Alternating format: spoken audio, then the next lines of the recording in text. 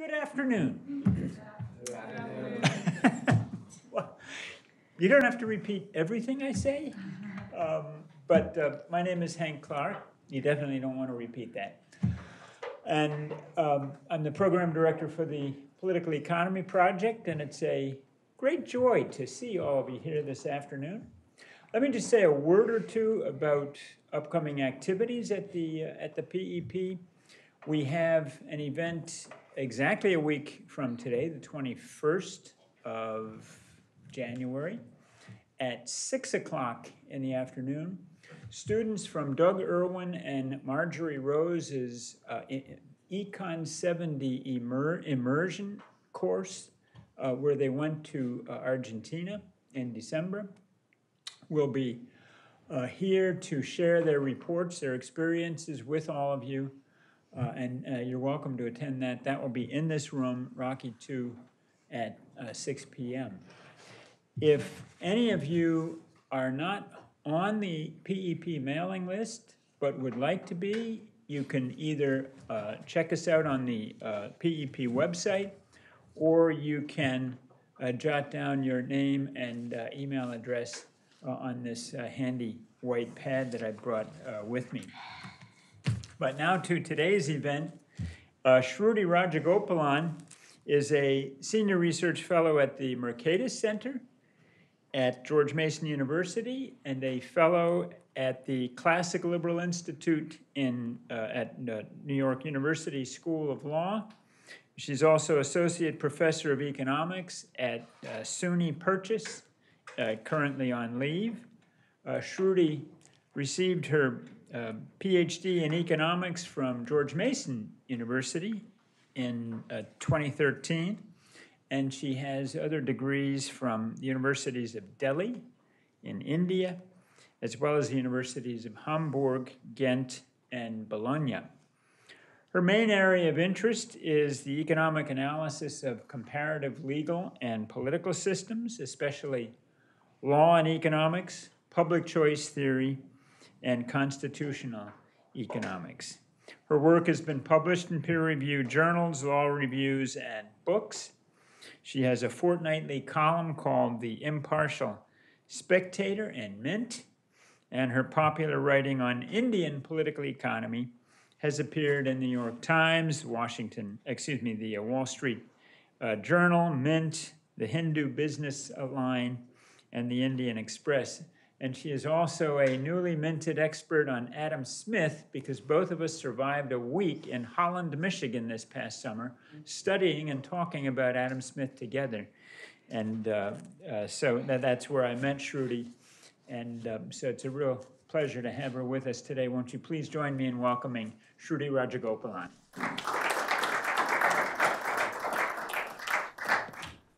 Uh, Thank you so much, Hank. Uh, as Hank mentioned, we spent a week together. It's called the Adam Smith Boot Camp. Uh, it felt like a boot camp, and uh, he was our drill sergeant, though a very kind one. Uh, he was our discussion leader. Uh, thank you also to Professor Wellborn. John and I were in graduate school together, sitting in a class not very different from this, trying not to fail macro theory or whatever it was at the time. Uh, so it's really, really wonderful to be here.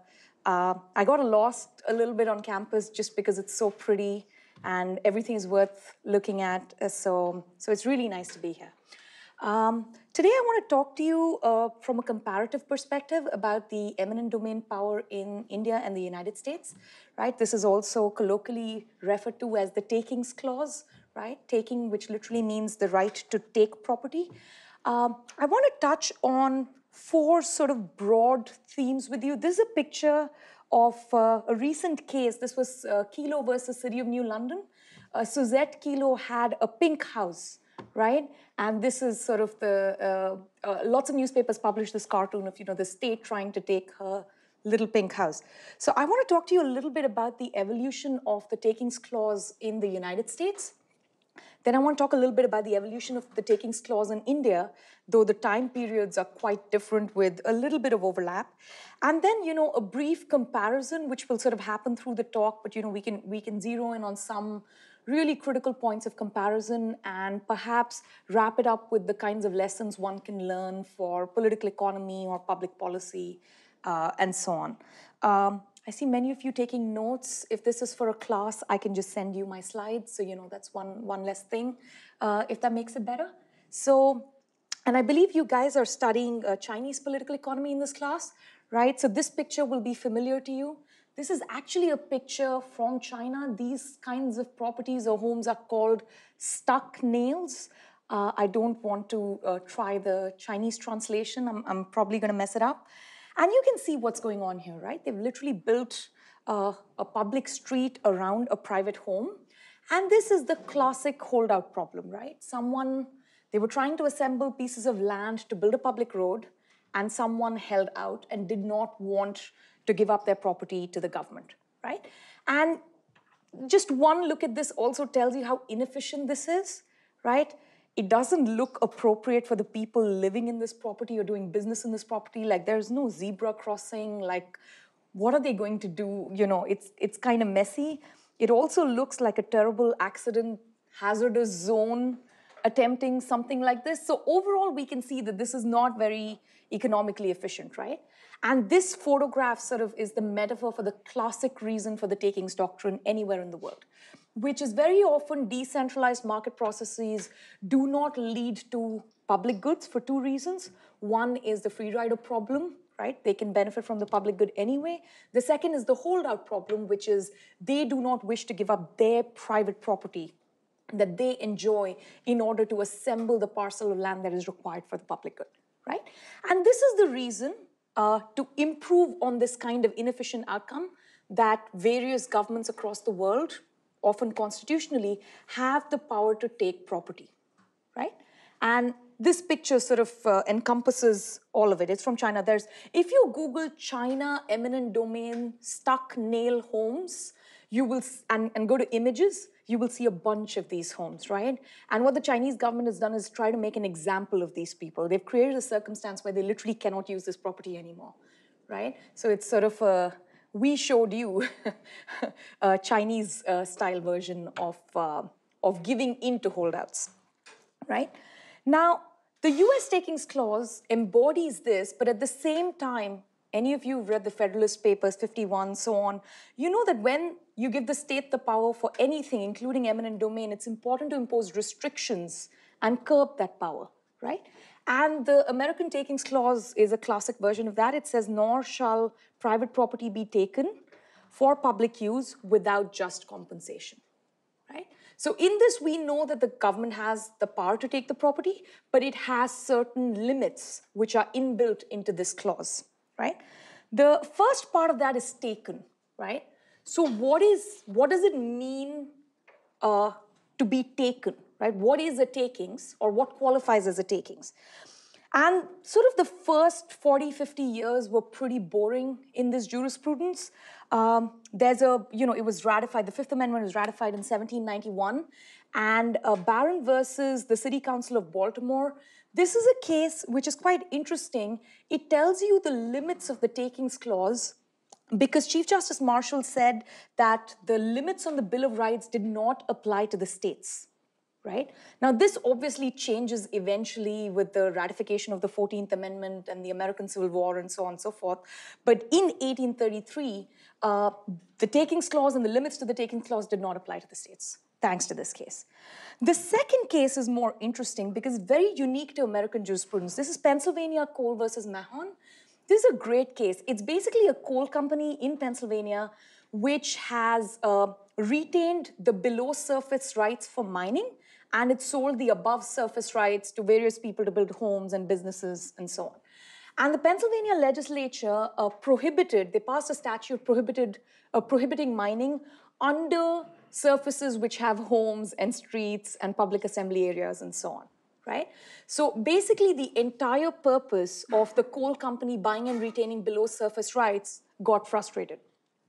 And they went to the court. This went all the way up to the Supreme Court. And the Supreme Court said that this is as if a takings had taken place, even though there was no transfer of property from private hands to the government. So 1922 Pennsylvania Coal is the beginning of what we call the doctrine of regulatory takings. Right? So the regulation has reduced the value of the property right to such an extent that it is as if the property right had been condemned and physically taken. And therefore, it is a compensable uh, sort of, I, I don't want to say offense, but it's like a compensable case within the takings jurisprudence. So this also qualifies as a takings. So since 1922, it's been pretty obvious what constitutes a takings in the United States, and now it applies to all 50 states, right? The second aspect of the takings clause is public use, right?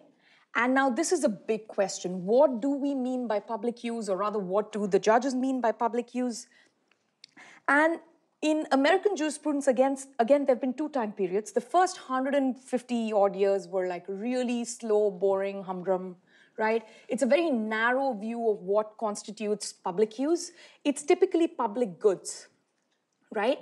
These are goods provided by the government, like public roads, bridges, railroads, and they also included these similar goods if they were provided by private carriers, as long as they were acting like a state actor right? So if it's a private railroad, that is still within the domain of public use, right? Now, post 1954, and we're going to walk through this evolution in a little more detail, uh, we get a slightly broader version of public use, right? What do we mean when we say we're going to take a particular piece of property and use it for the public, right? Is it only restricted to taking land and building roads or building a bridge, or does it also accommodate other kinds of uses that the government may wish? So the first in this case is Berman v. Parker. This is 1954. This is a case in, of redevelopment in a condemned neighborhood in Washington, D.C. In this particular case, the plaintiff was the owner of a small departmental store, and his particular piece or uh, land parcel was not condemned, but it was in the general area that was condemned. And the idea was that this entire neighborhood would be redeveloped under this particular statute. It would be given to a private redeveloper, like a you know classic private real estate developer, and they would turn the neighborhood around. They would you know make sure that the buildings were up to code right? The area wasn't blighted anymore. They would bring in some businesses and some jobs and really make this like a nice, shiny, pretty place, right? Now, there are a few other undertones going on in this case because this particular neighborhood, including the plaintiff, was almost entirely occupied by African Americans, right? So when the city decided to do this, it forcibly basically evicted about 5,000 African Americans in that area. And even some of the neighboring areas that weren't condemned were very strong sort of neighborhoods with lots of minorities living there. So this also had a sort of like social um, unrest within that particular area. This case and this statute was widely regarded at the time as racist, right? But what happened in the Supreme Court had nothing to do with any of this. They were narrowly focused on does this kind of redevelopment uh, fall within the purview of public use or does it not fall within the purview of public use, right? And in this particular case, uh, Justice Douglas said that public use includes public purpose, right? So you can immediately see there's an expansion there. And what do we mean by public use? That was, you know, pretty strict, you know, state monopoly situation, public goods situations. Public purpose is clearly a little bit wider, right? Now, obviously, the question comes up what constitutes public purpose? And the court said whatever the legislature says is public purpose constitutes public purpose, right? This is a different doctrine. It's called the doctrine of legis legislative deference. There is a huge literature on this, not just in the United States, but across the world. And um, Justice Douglas concluded, and, and, now I quote, the role of the judiciary in determining whether eminent domain is being exercised for a public purpose is an extremely narrow one. If the legislature has spoken, the public interest has been declared in terms well nigh conclusive, right? So now, if the legislature says this is public purpose, right, we're going to redevelop this area and it's going to benefit the public, we believe you, we will allow it, right? That's kind of where he left things. This was a major departure from the previous 150 years of uh, takings jurisprudence. But this broad version just continues after 1954 right? This is Poletown versus City of Detroit. Uh, Poletown is a town in Michigan. This is a place where uh, General Motors wanted to expand and uh, you know place like a new auto industrial plant and all the ancillary things that go with it. Uh, there were, of course, uh, major problems because 4,000 residents of Pole Town had to be relocated forcibly because of this. And once again, the question of public purpose or public use arose, right? Is it really public use when it's General Motors? Now we're not even talking about a blighted neighborhood where you could make some kind of externality argument, right? This is just pure and simple private takings from regular folks who live in Pole Town and giving it to General Motors, right? Now, once again, the usual arguments were made about how, you know, uh, and you know this from lots of cities, industrial cities in the Rust Belt, where the entire political economy of a particular small town revolved around a particular factory or a particular kind of uh, you know, economic activity that was taking place. This was still very much in vogue in the 1980s. So the idea that General Motors would set up a plant there, there would be lots of jobs, and it would create these huge spillover benefits like tax revenue and so on and so forth, that held a lot of weight with uh, the judges. And they basically said that yes, economic redevelopment of this area is part of public use in the in public use limits undertakings, right? So once again, you see that this keeps getting broader. First, we talk about blighted neighborhoods and externalities, right? Then we sort of move it a little bit more and we say, now we're also talking about pure private takings as long as there's economic development. Now, once again, this gets even bigger. This is a great case. It's Hawaii Housing Authority versus Midkiff. This is 1984. This is in a small island of Oahu. I, I think I'm saying that right, uh, in, in Hawaii. The situation in this particular island was 22 landowners, not 22%, 22 individual landowners owned 72.5% of the fee simple titles in that area, right? So this was considered a really vast inequality in land ownership. Land ownership was highly concentrated. Uh, the, the legislature passed this particular statute saying that there was kind of an oligopoly when it came to land redevelopment and therefore land prices. These 22 individuals colluded and they sort of, you know, kept land prices high. They were excluding other sorts of landowners who wanted to enter the market and so on and so forth. So now we're just going to do full scale land reform, right? You guys are studying the Chinese economy. You know a thing or two about land reform, right?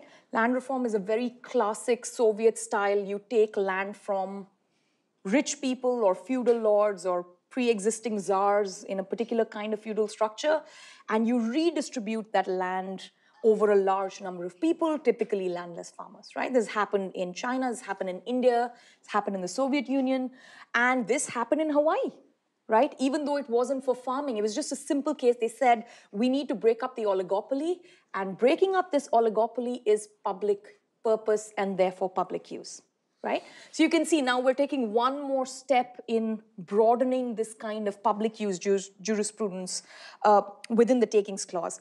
Uh, the court upheld it in both Berman v. Parker and uh, Hawaii v. Midkiff. Uh, it was a unanimous Supreme Court opinion, right?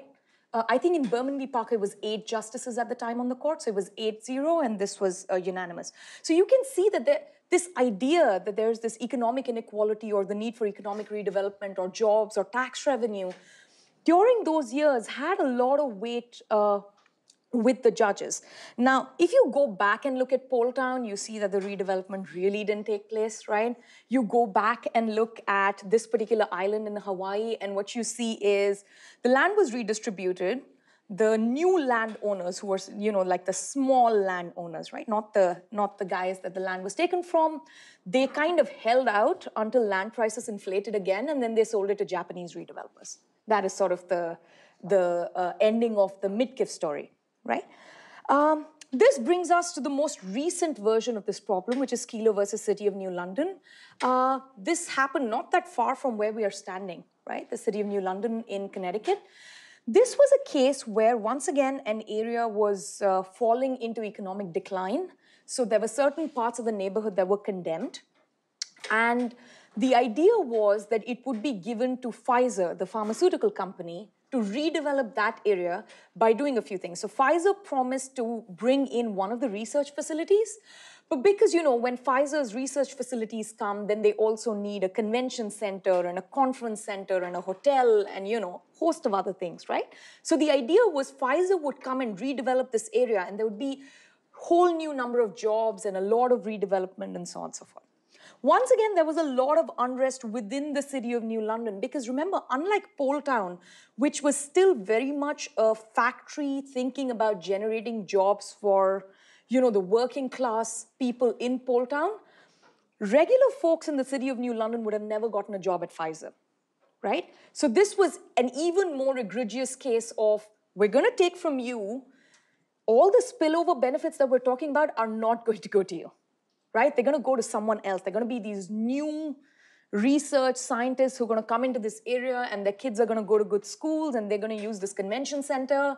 And there'll be a few other ancillary jobs, you know, at the golf course and waitressing, which are going to be available for the city of New London. So this caused, as you can imagine, quite a lot of social problems. Uh, one particular uh, individual, her name is Suzette Kelo, held out and said, I refuse to sell my property. I'm extremely attached to it. You know, I moved here in a particular set of circumstances. I looked after my mother here. She had huge emotional attachment to that particular property. And she went all the way to the Supreme Court in this particular case, and she lost, right? Now, once again, the argument in Kelo versus City of New London was the economic development argument right? And there were numbers and facts and figures given on how many new jobs will be generated, right? How much tax revenue is going to come in, how the city of New London will be completely turned around. Blueprints are presented, right? It looks like this, the before and after that you see on HGTV, right? That's the kind of before and after that was presented for the entire city of New London. So these arguments held but unlike previous cases where it was a unanimous verdict, this was a very narrow verdict, right? This was 5 4. So five justices said, yes, this constitutes public purpose and public use under the takings clause, and four said no. And in particular, uh, this is a 2005 case, so it's a little bit dated. Uh, uh, Justices Sandra Day O'Connor and Justice Thomas both gave really vociferous uh, dissents in this particular case, right? Uh, Justice Sandra Day O'Connor, I remember this throwaway line, I don't think I've got it exactly right. She said, if this kind of takings, this kind of private takings constitutes public purpose and therefore public use, then nothing stops the government from taking over every Motel 6 and turning it into a Ritz Carlton, right? So she kind of really got to the heart of this is really robbing poor folks and telling them that they're not as valuable economically in a particular political economy and giving it to richer folks who we think are more valuable. And there is something really problematic about that. She held that it is okay to extend public use into public purpose in the case of blight, as it was in Berman v. Parker, right? So she still wanted to hold on to the 1954 jurisprudence that was developed, but she said this is a step too far. You should exclude economic redevelopment takings from this kind of public use doctrine, right? Justice Clarence Thomas just went the other way. He said all private takings should be off the table, right? This is just, uh, this is an area where you just don't go.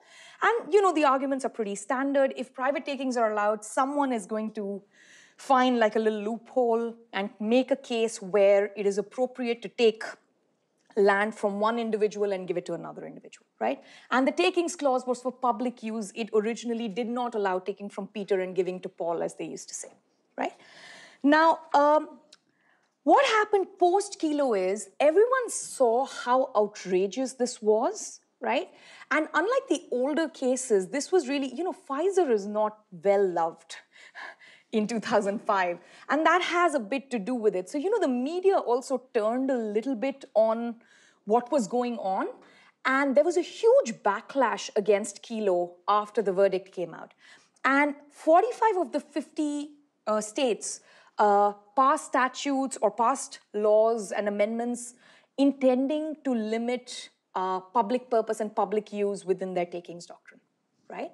Now, if you actually look at all 45 uh, laws that were passed, about two thirds of them do lip service, and really one third of them intend to limit the power of the state. But it's still a move forward from the immense breadth that has, you know, been seen in the public use doctrine in the United States. And this was one attempt to sort of roll it back. Now, after takings and what constitutes public use, the third aspect of the takings clause or the third limit is just compensation, right? You can't just take property, you have to give just compensation. Now, what constitutes just compensation? Now, on this, the courts have been really clear and extremely consistent. They say it constitutes fair market value, right? And now, again, your political economy students, how do you arrive at fair market value? right? So typically what they do is they look at that particular area, right? You know, the way a real estate agent would find comparable property values and tell you to list your property, right? It's kind of a similar exercise. You look at, you know, the historical trend in that particular area, something very similar, how much it sold for, and then that's the fair market value. Now, if you think about this one step deeper, you know that this is not the fair market value for the individual involved because if they thought that was enough for them to sell the property, they wouldn't have held out in the first place, right? So there is some additional subjective value that the individual um, attaches to that particular property. So that's one, you know, sort of like foundational conceptual problem with fair market value, but it's otherwise a pretty simple rule. There's a second major problem, especially when you look at these uh, economic redevelopment taking situations like Pole Town, especially Pfizer.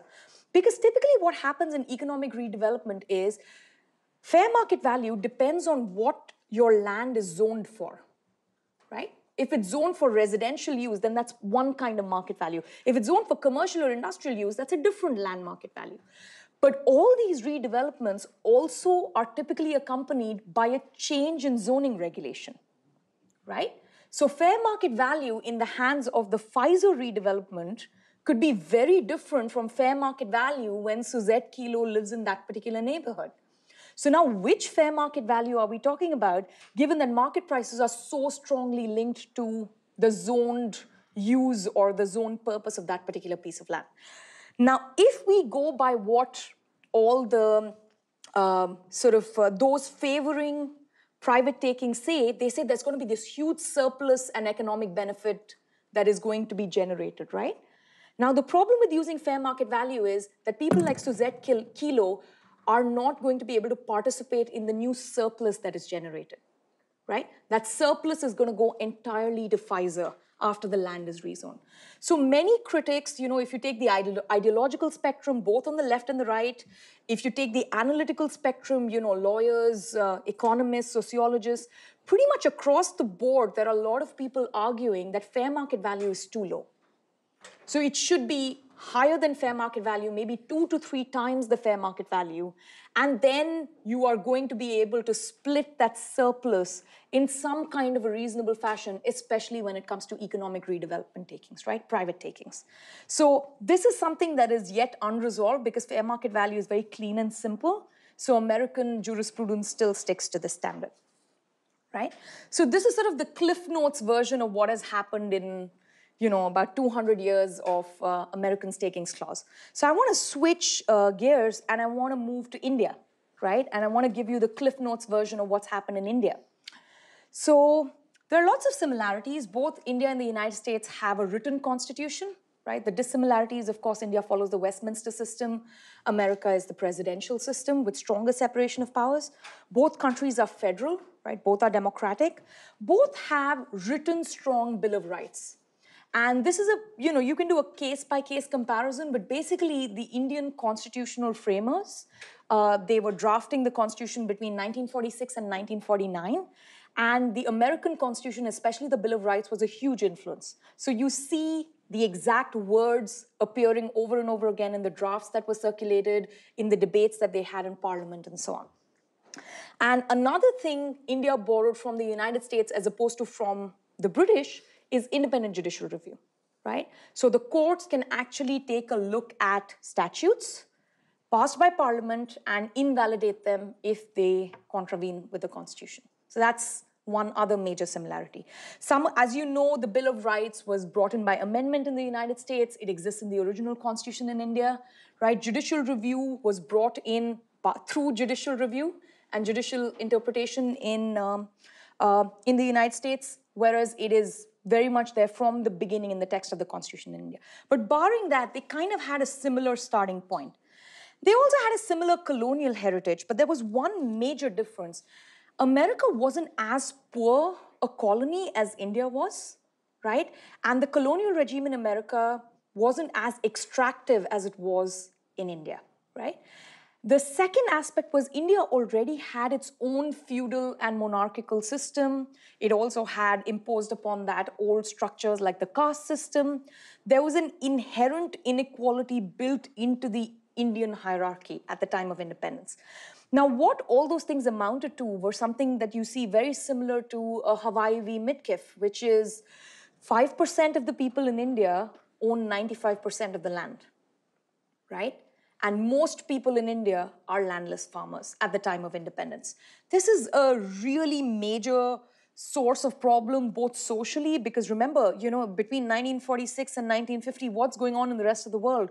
All sorts of revolutions. You might have read a thing or two about that too right? In chinese political economy there was a huge fear that india is going to undergo a sort of maoist type revolution and they're going to overthrow this newly minted constitution newly minted government and we need to do something about this problem, especially in a situation where, so India also introduced universal adult franchise from the first day, right? So all the people we're talking about have the right to vote, and they will vote. So if even if you talk within the realm of democratic politics, you've got to fix this problem of land use and land reform, right? It's kind of where we start. Now, when India ratified, uh, rather adopted, there was no ratification of the constitution, the New York Times gave it like this glowing uh, editorial. It said, you know, there's a document everyone can be proud of, not just the British, not just the Canadians, especially the Americans, right? And the reason they say that is there is a very large influence in the Bill of Rights, the principles, writ jurisdiction, independent judicial review borrowed from America. But you know from reading even a little bit of American history that all these wonderful principles typically constrain the state, right? And if the state wants to go out and do some large scale action like land reform, then it's going to be constrained in that, right? Now, the people who framed the Indian Constitution knew this. And they started debating this even when they were writing the Constitution, right? So they were mostly British trained lawyers right? Unlike uh, the framers and the founders of the American Constitution. And they said public use is too ambiguous. Remember, this is even before uh, Berman v. Parker, which is 1954, right? So th- that case hasn't happened yet. They say public use is ambiguous, right? Doesn't mean only government use? Does it mean only public goods, right? Can it be used for large scale land reform? And then they say, you know, that's a stretch. It's going to be very hard you know, Hawaii hadn't happened yet, right? So it's going to be very hard to make the case that public use includes large scale land reform, uh, dismantling the feudal system called the zamindari system. So we can't stay with public use, right? So what they do is they change it to public purpose. Something you see happen in 1954 by interpretation in the United States happens in 1949 in India in the text of the Constitution. So that's one big similarity right, that takes place. And uh, another aspect of what's going on in India is, unlike the United States, they adopt a socialist system, right? It was going to be a mixed economy where the government controls vast aspects of the economy and they have things like the five year plan, which were modeled around the Gosplan of the Soviet Union. So there's a lot of government control over how economic resources will be used as well as distributed. So in this particular scenario, public use what does public use mean in a socialist environment, right? Now, when I was growing up in India, the government owned a bakery called Modern Bakery, right? Is baking bread public use? It's done by the state. What does that mean? But it could be public purpose in a country where they don't trust market prices to actually allocate bread efficiently, right? So that was kind of the outlook why they changed public use to public purpose. The second question was compensation, right? And this was a really big issue. In America, at the time of independence, they didn't try large scale land reform. Even cases like Berman v. Parker, you're talking about governments which are fairly well funded or well financed, right? Indian treasury was virtually bankrupt at the time of independence. And if you say that all these, you know, Maharajas and Zamindars have to be given full compensation when we take their land and give it to the poor, it kind of defeats the purpose of large scale land reform, right? You're just exchanging one kind of property for another. So there was this question of how do we deal with this? We don't want a revolution where people basically like, you know, march in and kill these zamindars and maharajas. We want some kind of constitutional regime, but simultaneously we can't pay them full compensation. And just compensation means fair market value, right? So they removed the word just and just compensation uh, became just compensation, like, you know, just, uh, just the word compensation, right? So that's what happened in India. So that's two major differences. And uh, lawyers wrote this, right? So this is the original takings clause in India. Uh, it's full of exceptions. It talks about details like when the, you know, the, the main thing is part one and two. The rest of it has a lot of details on when some of these statutes are passed. You know, is there a president who has already signed off on those statutes and so on and so forth. But I'm just going to give you the, the crux of it. That part one, which says no person shall be deprived of his property save by the authority of law, right?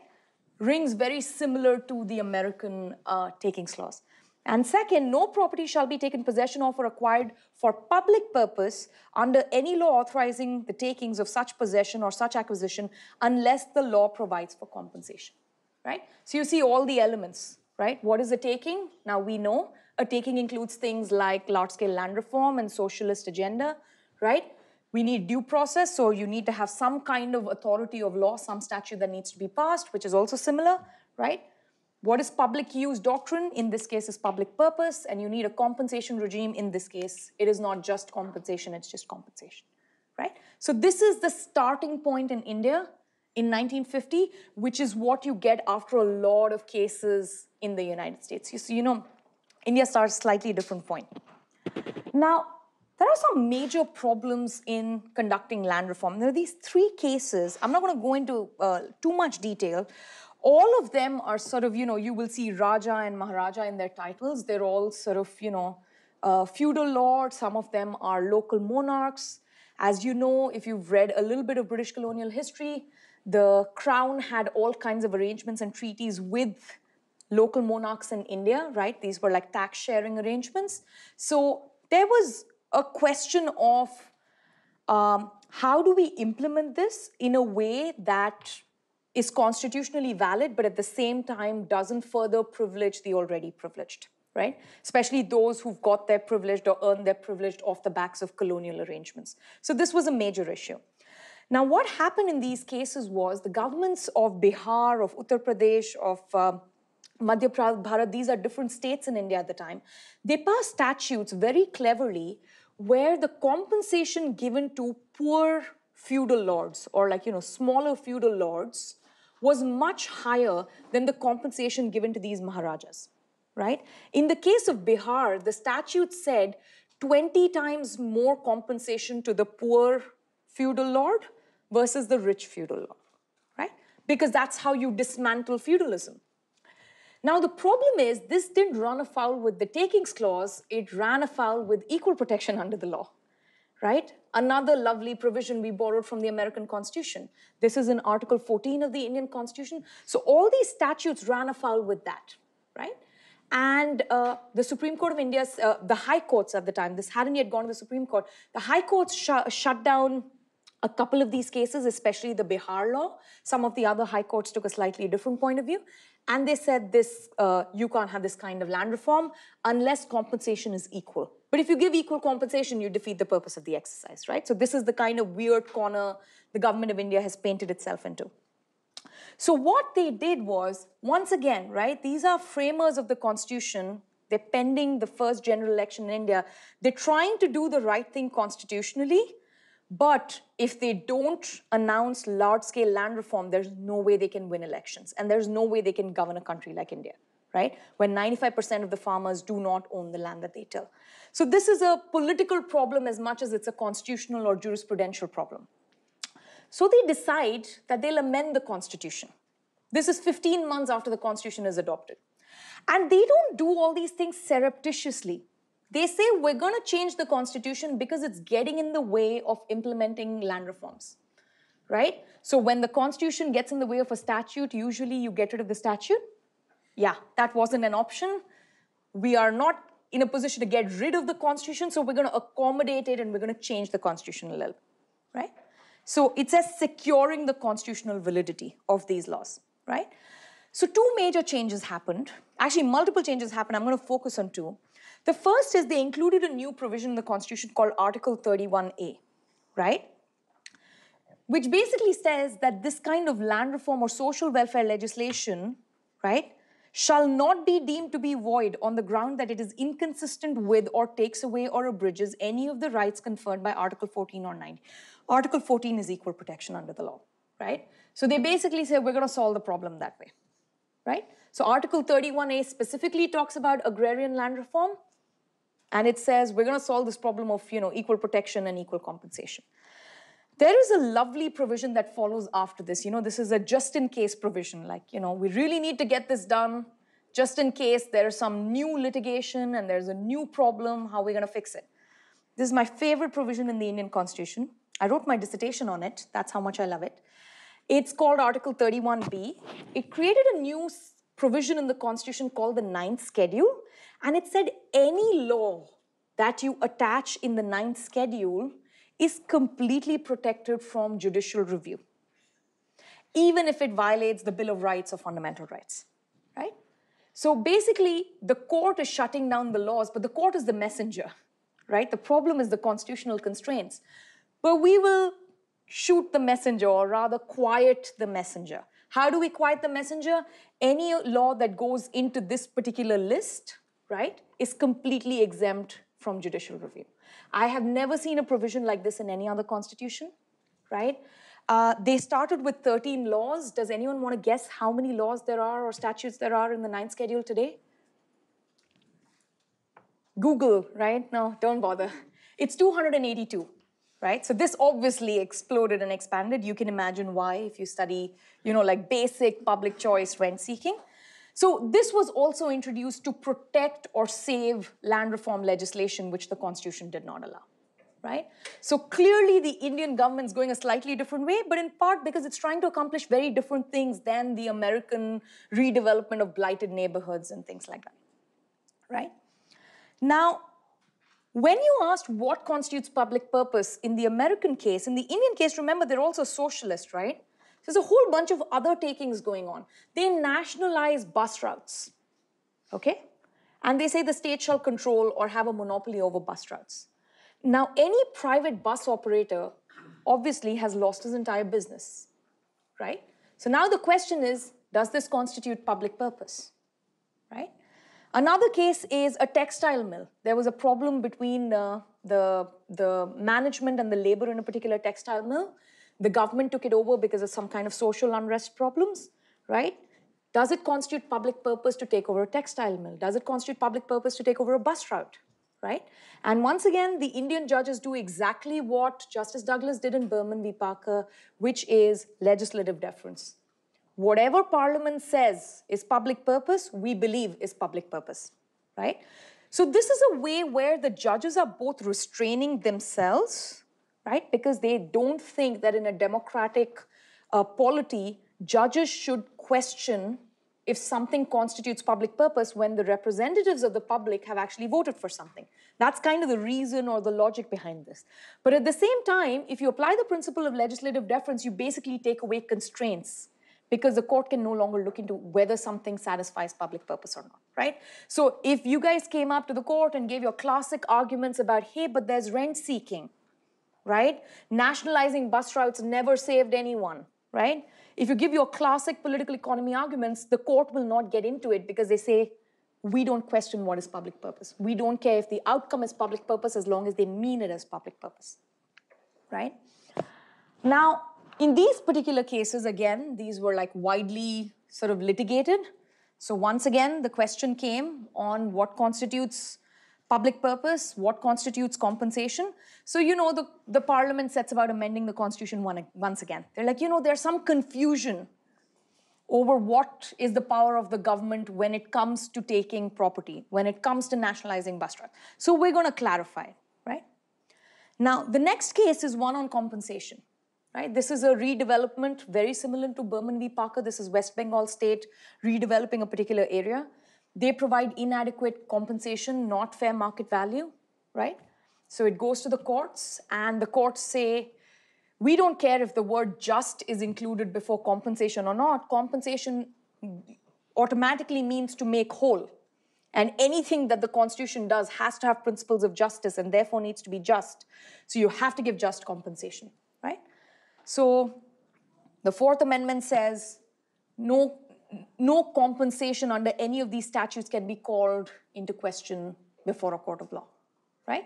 So the court can't tell you if something's public purpose, the court can't tell you if something uh, is the right compensation. So we slowly start limiting the purview of the courts, which also means removing constraints of the Bill of Rights right? This compensation issue was very persistent in India, unlike the United States. That's a major difference between uh, the two cases. So, this issue of compensation, what qualifies as fair market value keeps coming up. What qualifies as just compensation keeps coming up. And not all the cases are similar, right? Not all the judges in different high courts come up with the same outcome. So, because it is so highly litigated, they finally decide to amend it again in the 17th Amendment in 1964, they say, you know, there's going to be all these issues. We're going to do two things. We're going to add 44 statutes to the ninth schedule. Remember, we started with 13, right? Then we added another seven. Now we're at another 44. So we're at 64 statutes by 1964, right? And the second is compensation, right? R.C. Cooper is a case, again, there's too much detail, but I'll give you the cliff notes. By now, Nehru has died, Mrs. Indira Gandhi is the prime minister. She has decided to completely go Soviet, right? She has said things in public like, my goal is to take India to the commanding heights, uh, to control the commanding heights of the economy. It's a very classic Soviet Union term. And controlling the commanding heights of the economy implies nationalizing a whole bunch of sectors like banking and insurance and mining and so on. So she sets about nationalizing these sectors. The first one is banks. She nationalizes them overnight by ordinance because if you do it properly, then you know all the funds will uh, disappear, right? Because funds tend to be fairly liquid and fluid. Um, so it's done overnight by ordinance. Of course, it's challenged. Now, the interesting thing about bank nationalization in India is it was 500 million rupees, which is not a small amount in that time it did not give anywhere close to the actual compensation that was taken. And third, the compensation wasn't even given in cash, it was given in government bonds that matured after 10 years. Right? So now we're basically just taking over banks in return for like pieces of paper that may or may not mature in 10 years. So this was a major problem, right? So not just compensation, but what is the style in which compensation has to be given? Does it have to be money? Does it have to be cash? Is government bonds appropriate compensation? And we get into this whole thing, right? So once again, the government does what it does best. It amends the constitution. The 25th Amendment says this word compensations create lots of problems. We're going to delete the word compensation and replace it with the word amount. What is amount? The amount is whatever the government or that particular statute says the amount is, right? So now you see this different kind of slippery slope taking place here. Uh, after this, Mrs. Gandhi imposed the Indian emergency, which is basically suspension of democratic and constitutional rule in India for about 20, 22 months. And when she was asked about these policies by the New York Times, she says, we should be vigilant to see that our march to progress is not hampered in the name of the Constitution, right? Now, this is a very classic, like, this was, it sounds a little bit funny sitting in the United States. It was like a normal thing to say in India the Constitution is preventing the government from all this social welfare agenda, such as bank nationalization, such as land reform, important socialist agenda that we really care about, right? So we need to resolve this problem, and we do that by constitutional amendment, right? At one point, there's one of my favorite cartoons. I don't know if it's very clear for you. Someone goes to a bookstore, a government publication store, and says, May I have a copy of the Constitution? And the bookseller says, sorry, sir, we don't sell periodicals. right? That is how often the constitution was getting amended under Mrs. Gandhi's regime. Now, thankfully, Mrs. Gandhi's regime ended. We get a new prime minister. He's Morarji Desai. He's like, you know, Gandhian socialist. Reverses a lot of the damage that Mrs. Gandhi does to the constitution, except on the takings clause. Because socialist, right? Now, if you want to continue with the socialist agenda, you want to continue with nationalization, you want to continue with land reform, the takings clause is the villain. So what Morarji Desai does is he just deletes it. I'm, I'm not making this up. In 1978, uh, the Indian Parliament deleted the takings clause from the Bill of Rights uh, in the Indian Constitution, right? So if, if it doesn't exist, it's not a problem. So this was the 44th Amendment. They did it completely legitimately, by the way. All this was done like above board. They explain why they do it, and they say, which has been an occasion for more than one amendment, would cease to be a fundamental right. So what's the protection today? They included it as a legal right and not a fundamental right. It says no person shall be deprived of his property save the authority of law. What that basically means is it's the difference between executive action and legislative action, right? If any parliament or state legislature passes a law, that is fine, right? So only executive action can be challenged under Article 300A. So if the local municipal corporator takes your land without any kind of due process, then it can be challenged right? But if parliament passes a law or if the state legislature passes a law, you're totally fine. That's the, that's the broad distinction between the two, right? Now, a consequence of this is we get a lot of private takings, not that dissimilar from Kelo and not that dissimilar from Town, right? I call these reverse Robin Hood takings. The original set of takings for land reform were all Robin Hood takings, right? You take from the rich and you give to the poor. You dismantle the Maharaja system, you dismantle the Zamindari system. These are basically, you're taking from regular folks, poor farmers, right? You tell them that agriculture is no longer productive, your land is no longer as valuable in agriculture. We're going to give it to a paper mill, right? We're going to give it to a technology park, right? All these, uh, you know, business processing call centers where when you call, someone who sounds like me picks up the phone, right? You need to set up those office parks. Now, how do you find land for those office parks? We need to take land from farmers or small landowners, and we need to build them. So now technology park redevelopment is permitted under this, right? Same with residential developments. And India Poletown happened in a town called Singur, right? Uh, Tata Motors wanted to put up a plant there. This also happened sometime in 2006, 2007.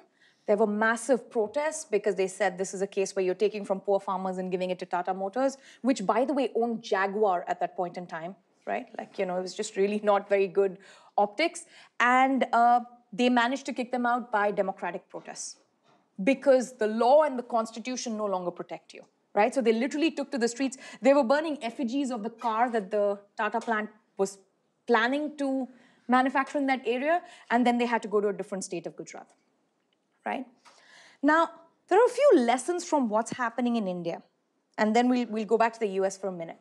So the first is legal formalism and you know constitutionalism in words or text is not the same thing as protecting rule of law and protecting individual liberty and rights right if you notice in india you didn't get this kind of situation with some kind of tin pot dictator right at each stage, these things are debated in parliament. They go into detailed debates. I have read these debates. These are very smart people, so many of them British trained lawyers. They look at the text, they sweat over every word. They say public use, public purpose, compensation, fair market value. At each stage, they chip away just a little bit more. They do it using the correct procedure, which is constitutional amendment. But at the end of it, what you get is something that looks very different from constitutionalism and protection of rights, any rights, not just property rights, right? So the first is you've got to be a little bit more vigilant about um, textual and interpretational formalism. The second lesson is that we need to really think about ideology a little bit more carefully when we think of constitutional jurisprudence, right? The position has always been legislative deference, right? We are not going to get into what constitutes public purpose, but what constitutes public purpose is always very tightly interlinked with two things. One is what is the government trying to accomplish? That is, what is the economic system that is prevailing there, right? Is it progressive? Is it socialist? Is it laissez faire? Right? And in each of those cases, what is public purpose would be completely different, right? And the second aspect of that is if you think about ideology, right, most of these processes come up bottom up, right? If people really care about reverse Robin Hood takings and they don't like the idea of taking from Susette Kelo and giving to Pfizer, then their elected representatives hopefully will not engage in it, right? And these are two ways in which ideology really starts mattering much more than what is the text of the Constitution. The text of the Constitution doesn't always bind, you know, ideology and government policy based on the prevailing ideology. And constitutions live for a long time. And the third is uh, we need to rethink the fundamental role of government, right? And what I mean by this is, is the government best placed to pick winners and losers? This is something that comes up in a big way again in Chinese political economy, right? Is the government best place to tell you where a town should be? Right? Sometimes it picks winners and you get amazing special economic zone. Sometimes you get ghost towns in China because it has built up areas where literally nobody wants to live. Right? So how good a job does the government do in these scenarios? That is something we got to think about, right? How good a job do the judges do? Are judges best placed to look at a particular project and tell you whether there's economic benefit or not? Right? In Town, in Kelo, in all these cases, they told you massive amounts of tax revenue was going to show up in a few years. That tax revenue never came up, right? Those areas are still underdeveloped. But are judges best placed to pick, pick winners and losers? And this is something we need to think about in addition to just, you know, what is the language? Because the people who are dealing with the language and interpreting the language really start playing an important role over a period of time. So we need new safeguards, right? And I've come up with three, and this will be very quick. Public use doctrine, procedural safeguards, and compensations. The same stuff we've been discussing all the while. Now, what about public use, right?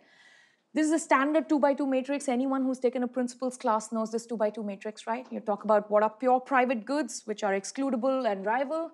You talk about, you know, excludable non-rival goods, like, you know, the PDF I'm going to send of this particular PowerPoint, right? These are not problem areas. We know the market resolves them fairly well, right? When it comes from a takings point of view. Now, the problem is typically non-excludable or quasi-excludable and non-rival right? Those are sort of the major problems.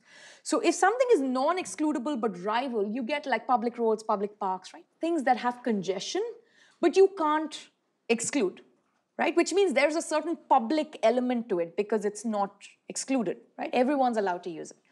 And then there are pure public goods, which is, you know, your classic asteroid deflection, malaria prevention, national defense, you know, all of that stuff, right? So these are your, this is your standard matrix. Now, some people say, these are scholars like Richard Epstein, public goods is public use. Let's keep this really simple, right? So you limit your public use doctrine to public goods. And we know a public good when we see it, right? Even judges can see it. Even legislatures can see, and you can make a case if something's rival or non-rival, excludable or non-excludable, right? Another way to think about the same problem is make it based on end use, right? Not on the ownership right? So if it's public goods, it doesn't matter whether it's the state provider or the private provider, it's allowed, right? If it's private goods, even if the government is running modern bakery, it is not allowed, right? Now, the problem with this is non-public goods, but those which are in public interest, like public libraries and universities, you know, those things are going to come into question now. Because those are not pure public goods based on end use and private providers provide it and the market provides it. So now you're getting into another zone, but this is another very clean way to restrict what's going on, right? Because we need some bright lines. So if you go based on end use restriction, you really only get pure public goods. But now we are agnostic to who the provider is, right? This is like your old 19th century American jurisprudence. If it's a private railroad, it's totally fine, right? Now, there are some procedural roadblocks you can think of. That is, if you go with this economic development plan, you can ask for more procedural roadblocks. What is the plan, right? Will the title automatically change or Susette Kelo gets to hold on to it and sell it to you after your plan has fructified, right? After you've built the first research facility, then we will give you the rest of the land, right? You know, you could have some serious procedural and structural roadblocks when you try and do this redevelopment of blighted neighborhood. What that does is a very classic, there's more skin in the game of private developers, right? So this is a different way of looking at safeguards, right? Again, when we're talking about plans and blueprints and convincing bureaucrats and convincing judges, there's a lot of political economy problems. But this is one other way that you could think about putting in safeguards. And a final one is increased compensation right? We talked about this briefly when we were talking about fair market value and how fair market value is so tightly entangled with the zoned use, right?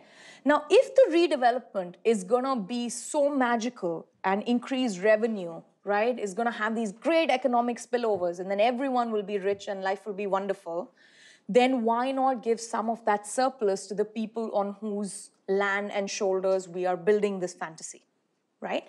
Now, this is a way of both reducing holdouts because holdouts always are holdouts at a particular price, right? There's no such thing as a holdout without a price attached to it. So now there's a new way of thinking about this problem, which is if you include people in the surplus sharing, right?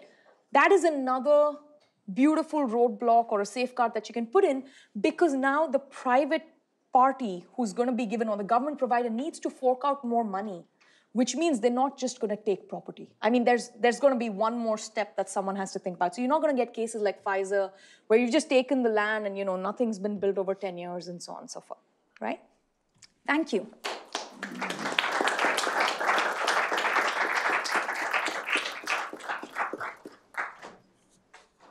Questions for Shruti? Please. Is it true that sometimes, like in America, land can be given out as like an incentive for, let's say, Pfizer to come to uh, New London with, and they don't need to commit legally to anything, and then they'll just turn around and sell the land at like whatever the market price is after getting it for free? I have heard this. I can't think of an instance of this, but more common than land or property is uh, tax incentives right? So what they'll do is they'll give tax incentives to these big firms and Walmart and everyone to come. And then Walmart and Pfizer will turn around and say, hey, but where are we going to build this facility?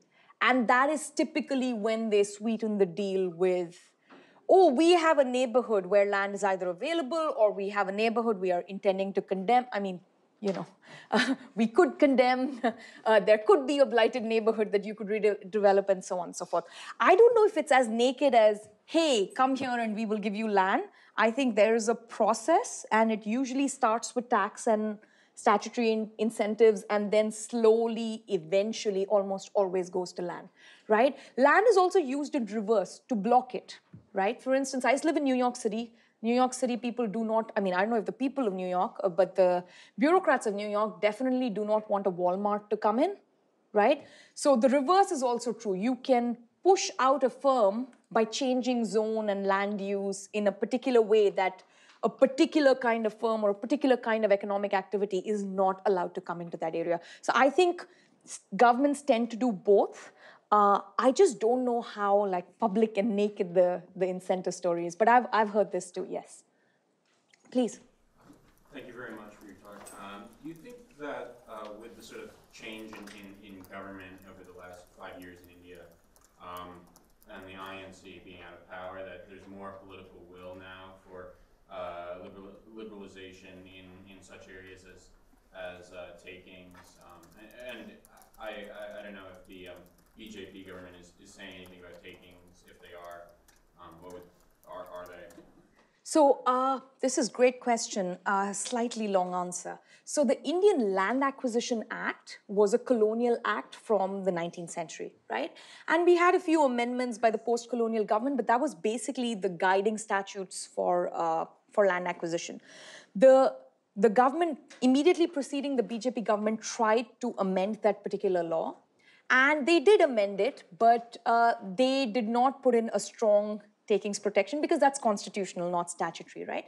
But they tried to put in some safeguards, but most of it was things like India needs to redevelop, right? There's a very state welfare and state leads economic development kind of attitude, which you're also familiar with studying China. So the idea is, you know, India's agricultural productivity is extremely low. We need to move to urbanization. We need to move to industrialization. And the people who are holding out are these farmers right? So five or six farmers holding out puts an entire uh, project into jeopardy, so we need to do something about it. That's kind of the attitude of the government. So what that particular land um, reform, uh, land acquisition law did was it set parameters. It said if 80% people in a particular area agree that they are okay to give up their land for redevelopment, the last 20% cannot hold out, right? So it did things like that.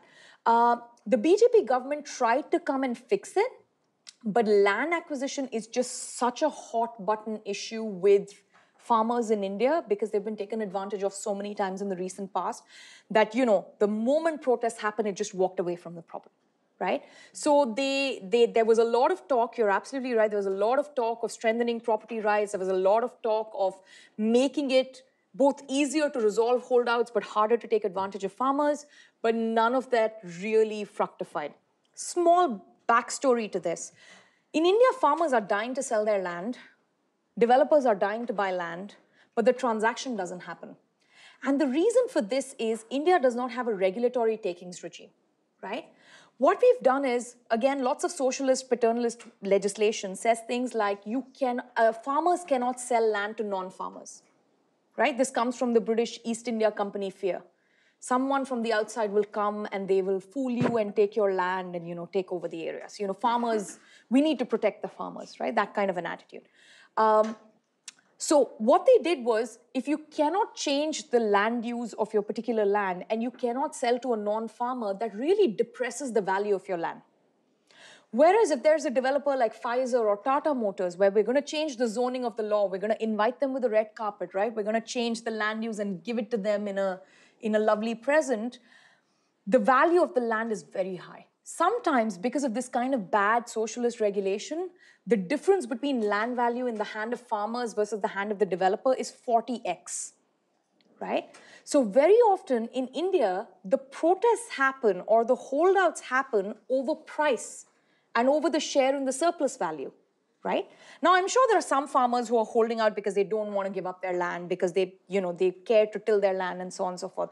But very often, given that agricultural productivity is so low and farmers want to get out of it and their land holdings are so small, the reason they don't is always about price and the developers are trying to use the government to pay the farmers the lower price on a particular kind of land use and then they will get all the regulatory arbitrage and you know once the land use is changed they'll get the higher price now of course there are a whole bunch of middlemen in this right um, and, and we can talk more about who those middlemen are. We even know some names and we know how they're connected to the government. But that's kind of the background of what's happening. So unless the BJP government fixes this mess, you know, which is all your land regulation mess, it's very difficult to fix the land acquisition or the takings mess, right? Because the political economy is entangled.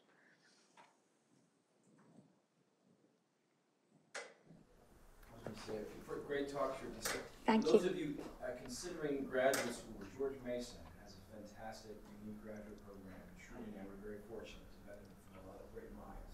We've had a very unique form of training that you wouldn't get at other economics PhD programs, and I'm happy to talk about that if you're curious.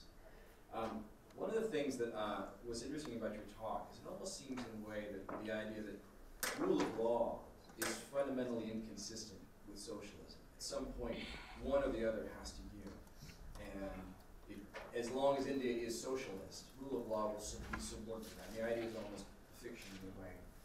And it's in China, which we'll discuss later in class, but just India now, there is no independent judiciary. Yes. The judicial branch in China is a subsidiary yes. of the executive branch. And basically judges uh, carry out the wish of the executive using a type of rule of law as it seems to be um, and I wonder if you could talk about that perhaps in the Indian context. And the other question I had was, in China, an interesting legacy of Maoism is the fact that the federal party, the party state in Beijing is not all powerful. Regional government yes. is tremendously powerful. Yes. And there's a lot of decentralization under Mao, reading the Coase Wang book. And I was curious if that's similar in India too, that, um, that there is this tension between the national federal government and the, the provincial governments and how they, and how takings these are great questions. Thank you, John. So, um, on the first aspect, like this was literally like the opening of my dissertation. Uh, it's very Hayekian, right, in a sense. So, if you read Hayek's Road to Serfdom, uh, there's a big discussion there. And he's really talking to Fabian socialists, which is what the Indian framers were. Like Nehru was a student of Harold Laski and so on. And the road to serfdom is dedicated to British Fabian socialists, right? And one of the things that Hayek argues there is that there is this fundamental inconsistency between rule of law and this kind of socialism. And the reason is the kind of socialism we're talking about requires an enormous amount of discretion in the hands of the government, right? And it requires us to give an enormous amount of discretion in the hands of the government, especially for redistributive purposes, which automatically means you're going to treat people differently, as we saw in the Indian First Amendment's case, right? You're going to treat rich landlords differently from poor landlords and so on. Now, when you have that kind of a framework, rule of law requires you to have rules that are general, right? That are equally enforced on everyone, right? Generality, neutrality, lack of discretion, equal protection. These are sort of the pillars of rule of law, no matter what kind of system, sorry, no matter what kind of system you're in, whether it's the Westminster system, whether it's the, Brit- uh, the US presidential system. And Hayek argued that there's an inconsistency between this kind of creeping Fabian socialism and restricting discretion, right? And that's sort of what you see, which is you, if you want the government to redistribute, right, you want the government to treat people differently, it is very difficult to do it within the sandbox of strong constitutional constraints right? So if in your mind you think strong constitutional constraints equal strong rule of law, that's the American way of thinking, right? Like strong Bill of Rights, strong procedural checks, strong, you know, separation of powers equals constitutionalism, equals rule of law, you're not going to get that when you have this kind of, you know, Fabian socialism. So that's an absolute, you know, that's a very on point observation on your behalf. And you see that in Mrs. Gandhi's words. We must make sure that, you know, welfare is not hampered in the name of the Constitution, right? So the Constitution is the villain, right? The rule of law constraining the government is the villain. The government is trying to do something good by executing a socialist welfare agenda, by taking over banks which are not giving capital at sensible interest rates to poor farmers right? By taking over land of uh, feudal lords who made treaties with the British colonial government. So this is a fundamental inconsistency. So there are a few chapters in The Road to Serfdom which are exactly on point on this. You can also read other rule of scholars like A.V. Dicey, right? The great British um, uh, scholar on administrative law and rule of law. And he also mimics this idea of you need generality, neutrality, lack of discretion, equality, and there are certain kinds of economic systems that just don't go well with that. Any government system that requires high degree of discretion, especially in economic purposes, with the government, is going to run afoul with that. Now, coming to the difference between India and China, I've always held that China, what China is in reality and what it is on paper are very different, and the same is true for India, right? But in opposite ways. Now, India is of the of the constitutional framework federal right? And China is not. But India is extremely centripetal in its federalism, in the sense that it's, it's looking towards the federal government and its federalism. The reason for that is states can elect their own governments, but the federal government controls all the purse strings. So the federal government makes all the budget allocations, which means you are not really federal because there's no federalism without fiscal federalism right? So it's a public finance problem as much as it's a constitutional problem. In fact, all constitutional problems are eventually public finance problems, some would argue, right? China, on the other hand, tends to be extremely decentralized with a lot of power with local, you know, sort of, uh, they almost, in some sense, like local fiefdoms. Uh, they are residual claimants of whatever is the wealth. Uh, I call them stationary bandit. Uh, no, but they're sort of like, you know, they're the residual claimants of the surplus that is generated in a particular area, right? And of course, nothing is true for all of China, just like nothing's true for all of India or all of the United States. But you see this a lot in some of the transition economy success stories in China, right? So China tends to be much more decentralized in its decision making. And you can appreciate that it's almost impossible to control a country and an economy as large as China by like a few people at the top, right? So you can you can appreciate that difference, but it's de facto and de jure it's very different. I believe de facto China has stronger property rights than India has. Right? If you look at Chinese cases where uh, they're trying to take over farmland and redevelop it into something else, the farmers almost always get a share of the surplus value that I'm talking about right?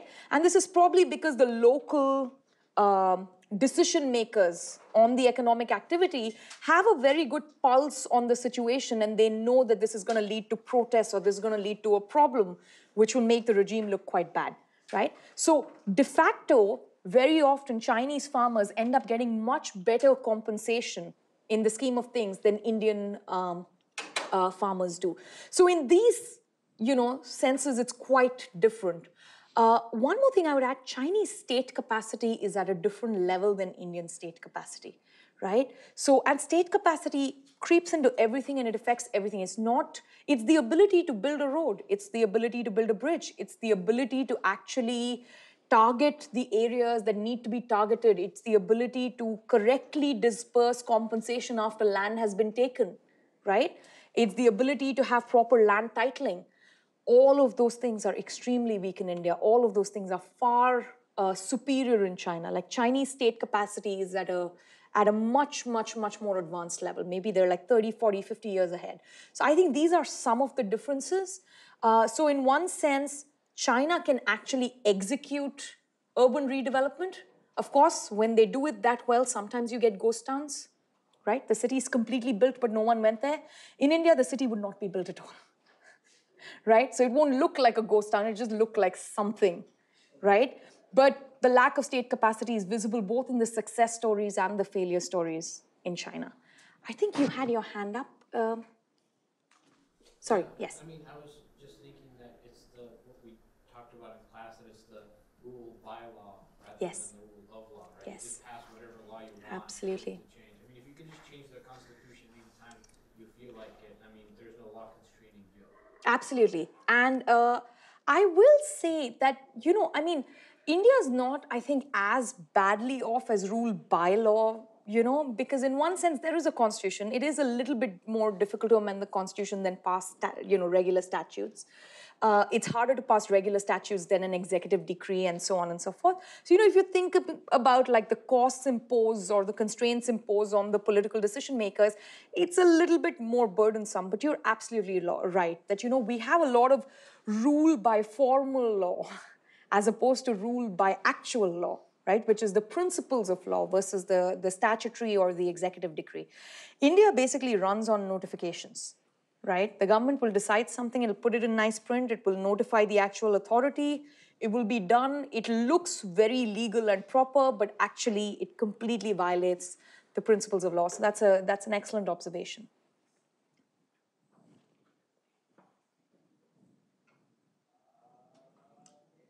One more question? Please. Uh, given that it sounds like there's some comfort of altering the Constitution or working around it in places where it doesn't actually need to be listened to, um, do you have any instinct on the stability and the longevity of that Constitution? To what extent it has staying power?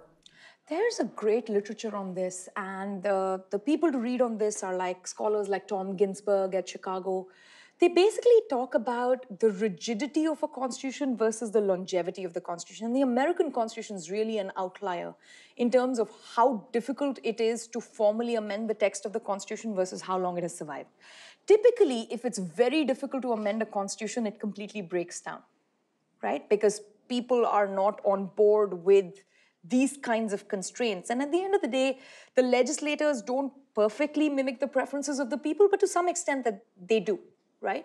On the other hand, if it's too easy to amend the constitution, then it's not really a constitution. So those are cases of extreme longevity, like the British system, which doesn't have an actual written constitution, which has a procedure to amend that written constitution. It's a bunch of statutes held together, but there's parliament sovereignty, right? Which means that we can actually change the rules slowly, quickly, any point in time. We're not bound by the constitution, but on the other hand, it makes the system extremely flexible and you know very, very long lasting. Even things like the Magna Carta that everyone thinks is the British Constitution has only three of the 63 initial clauses surviving or still in effect, right? So in some sense, there's been an evolution. So if it's very easy to change something, right? It could last longer because people will hold on to it and make it a living constitution and change it when they want. Uh, on the other hand, if it's very rigid, they won't. So this is a complicated question. It's very difficult to find that line.